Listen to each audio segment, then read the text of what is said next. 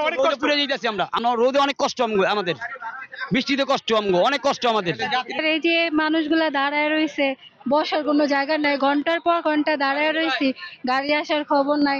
এতগুলা মানুষ দাঁড়ায় রয়েছে পানি খাওয়ার কোনো ব্যবস্থা নাই। অনেক কষ্ট হয় এখানে বুঝছেন? একটা সাউনি হলে অনেক খুব ভালো হতো গাড়ি আসতে অনেক লেট হয় বুঝছেন? এই জন্য আমাদের এখানে দাঁড়াইতে হয়। তো এখানে একটা সাউনি হওয়া খুব জরুরি। এই জায়গায় একটা টয়লেট আর একটা যাত্রী লাগবে।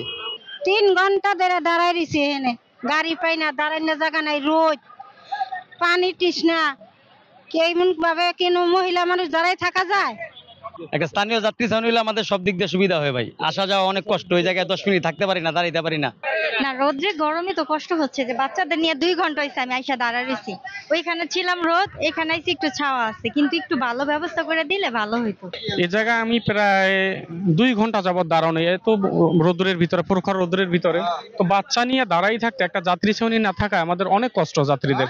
তো এক্ষেত্রে আমি আহ, সংশ্লিষ্ট যারা আছেন কর্তৃপক্ষ যারা আছেন তাদের কাছে আমি যথাক্রমে অনুরোধ করব যাতে করে একটা যাত্রী শ্রেণির ব্যবস্থা হয়।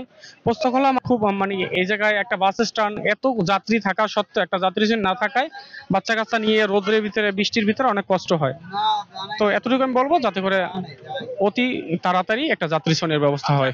পুস্তকলা ব্রিজ থেকে বিভিন্ন জেলায় যাতায়াতকারী লোকজনের কথা শুনে পুস্তকলা ব্রিজের উপর একটি যাত্রী ছাউনি স্থাপনের কথা ঢাকা চার আসনের এমপি ডক্টর মোহাম্মদ আউলাদ হোসেন মহোদয়কে জানানোর সাথে সাথে তিনি সেখানে এসে উপস্থিত হন এবং তিনি পুস্তকলা ব্রিজের উপর দুদিনের মধ্যে একটি যাত্রী ছাউনি নির্মাণের কথা ব্যক্ত করেন।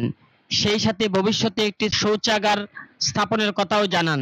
তিনি আরও বলেন, আমি পথে ঘাটে ঘুরে বেড়াই, সাধারণ জনগণের সমস্যা খুঁজে বেড়াই। কোথায় কি লাগবে তা সমাধানের চেষ্টা করি। আমি আমার নির্বাচনী এলাকার জনগণের খাদেম হয়ে তাদের খ্যাতমত করে যেতে চাই। মহান আল্লাহ তালা আমাকে যে সম্মান দিয়েছেন, তা মানুষের সেবাদানের মধ্য দিয়ে রাব্বুল আলমিনের সন্তুষ্টি অর্জন করতে চাই।